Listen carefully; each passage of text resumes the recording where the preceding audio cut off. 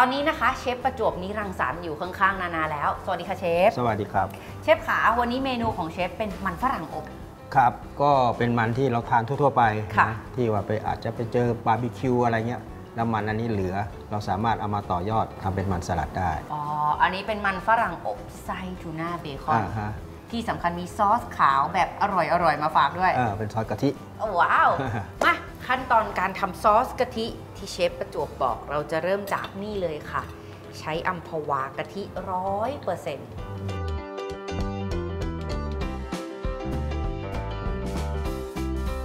แป้งข้าวเจ้าก็เกลือป่นใช่ไหมครัคะเกลืออันนี้เราจะทำกะทิข้น ค่ะเชฟเคล็ดลับในการทำซอสให้ไม่เป็นลูก เชฟบอกเมื่อสักครู่ว่าให้คนส่วนผสมให้เข้ากันก่อนตั้งไฟค่ะ พอน้ำกะทิร้อนเดี๋ยวแป้งก็จะสุกค่ะเชฟเราก็จะลดไฟลงรออีกนิดเดียวเดี๋ยวกะทิเดือดเราก็ปิดไฟได้เลยค่ะเชฟเอาละเดือดละครับอันนี้เราก็ได้กะทิข้นค่ะ เราจะพักเอาไว้ก่อนครับแล้วเราจะมาทำส่วนผสมของมันอบกัน ก็ใส่เบคอนด้วย โอ้ว้าว แล้วก็ใส่ทูน่าด้วยค่ะ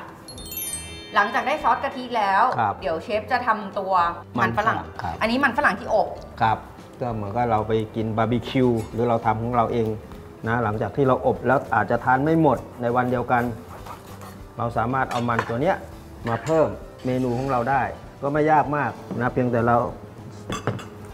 เซาะมันอันนี้ ค่ะเอ่อคว้านนะคะ เอาเนื้อมันนุ่มๆ ข้างในออกมา เราจะเอามาเป็นหนึ่งในส่วนผสมของไส้ค่ะ แล้วตัวเปลือกมันเนี่ยนะคะ เดี๋ยววางเอาไว้แบบนี้ ขั้นต่อไปค่ะ เราก็จะปรุงรสด้วย หอมสับแล้วก็ชูน่า ตามด้วยเบคอน เบคอนทอดกรอบ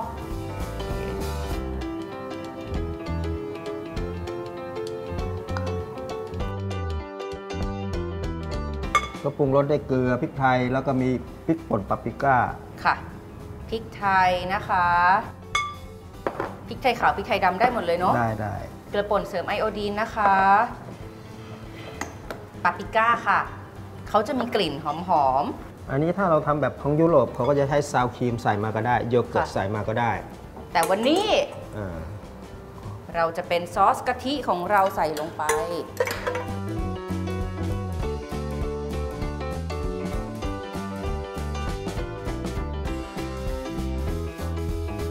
พิ่มรสชาติด้วยสมุนไพรผักดิวชีลาว ค่ะ แค่นี้เราก็ได้ของเป็นเมนูใหม่ขึ้นมาอีกเมนูหนึ่งได้ค่ะ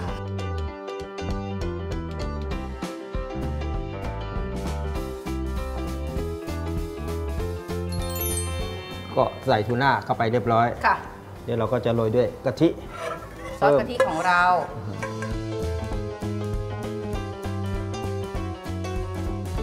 จากนั้นโรย Parmesan cheese นะคะ เป็น grated Parmesan เพิ่มกลิ่นหอมๆโอ้โห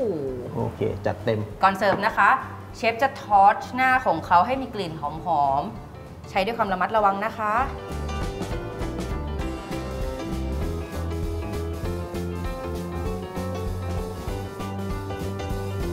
หลังจากนั้นเราก็จัดเสิร์ฟลงจาน ได้ค่ะเชฟ อึ๊บโอ้โห ก็เป็นอาหารเพื่อสุขภาพได้จานหนึ่ง โอเค โรยหน้านะคะ ก่อนเสิร์ฟด้วยดิวนิดนึงค่ะ เพิ่มสีแล้วก็เพิ่มกลิ่นหอมๆ กับผงปาปริก้านะคะ โอเค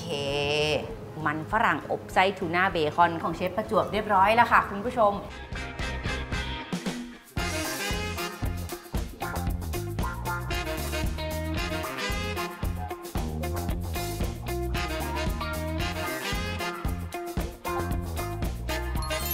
ช่วงหน้านะคะ พบกับอาจารย์ยิ่งศักดิ์ในช่วงกูรูมืออาชีพ อย่าเพิ่งเปลี่ยนช่องไปไหนนะ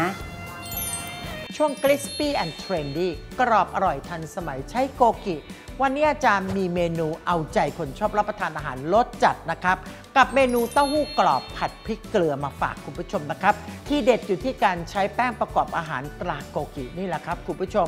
คลุกกับเต้าหู้แล้วก็นำไปทอดนะครับ ต้องขอบอกเลยนะครับว่ากรอบอร่อยน่ากินสุดๆเลยนะครับ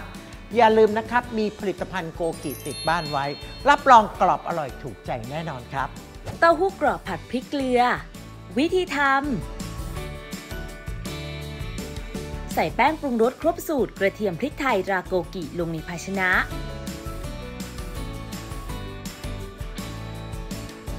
นำเต้าหู้ลงคลุกให้ทั่วทั้งชิ้น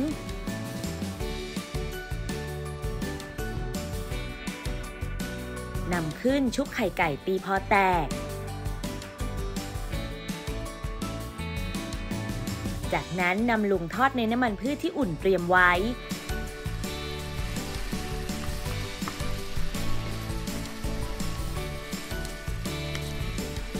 ทอดจนสุกเหลืองกรอบ ตัดขึ้นพักให้เสด็จน้ำมัน เตรียมไว้ ใส่น้ำมันพืชลงในภาชนะนำขึ้นตั้งไฟพอร้อน ใส่กระเทียมสับพริกขี้หนูแดงซอย เกล็ดขนมปังชุบทอดราโกกิ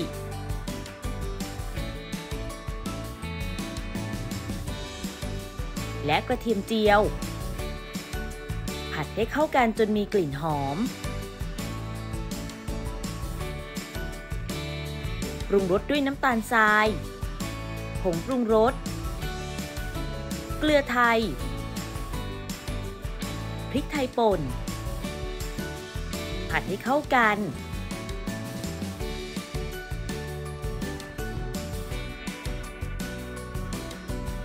ใส่ต้นหอมซอย ผัดให้เข้ากันอีกครั้ง ปิดไฟ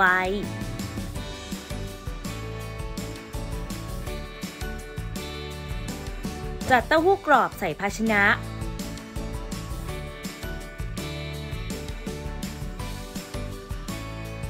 ราดด้วยส่วนผสมที่เตรียมไว้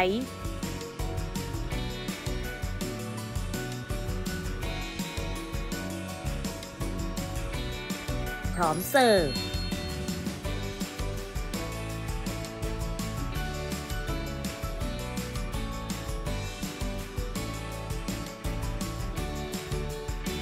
เสร็จเรียบร้อยแล้วค่ะ ทำง่ายมาก ๆ เลยใช่ไหมล่ะคะ กรอบอร่อยทันสมัยใช้โกกินะคะ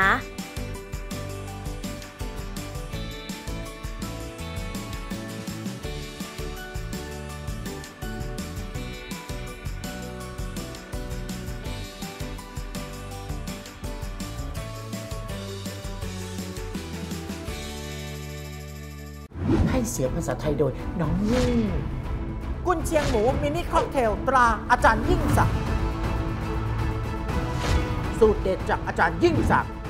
หอมกลิ่นหมูย่างเมืองตรัง ไม่ใส่ดินประสิว ไม่ใส่ผงชูรส เครื่องแน่น หมูเน้นๆ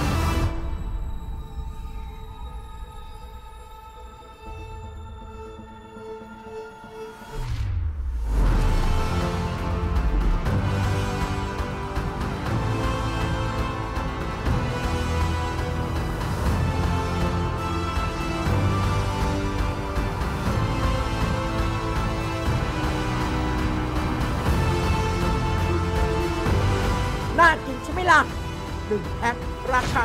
175 บาท พิเศษวันนี้ซื้อ 3 แพ็ค ราคาเพียง 450 บาท จัดส่งฟรี รีบสั่งกันไว้นะ